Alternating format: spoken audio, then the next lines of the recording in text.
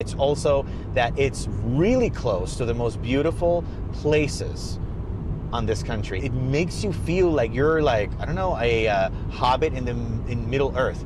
Lord of the Rings. And I remember one time I told this to a friend and he said like, yeah, LA it's more like Lord of the Hobos. And I'm like, yeah, well, yeah, but that's not what I meant. We're to show you in this video with a mix of drone footage and a mix of red footage and a mix of Canon footage.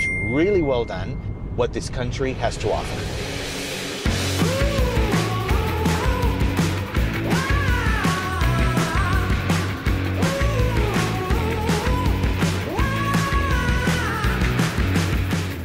We're here in the Death Valley.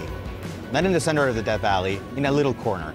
But we're here in Baker, and uh, as you can see, we're in our first spot where we're stopping to see the world's tallest thermometer. Cool, right? And it's hot. It's about 95 degrees. 92 degrees. Nope, it's 95. What about that red bar on top of the 92? Oh. Yes.